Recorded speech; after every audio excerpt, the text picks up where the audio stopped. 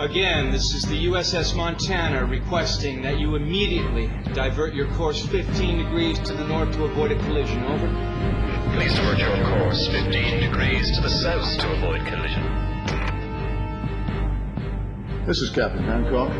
You will divert your course. Over. Negative, Captain. I'm not moving anything. Change your course. Over sun. This is the USS Montana, the second largest vessel in the North Atlantic Fleet. You will change course 15 degrees north, or I will be forced to take measures to ensure the safety of this ship. Over! This is the lighthouse, mate. It's your call. Hello? Captain? I think he's gone. Fair enough.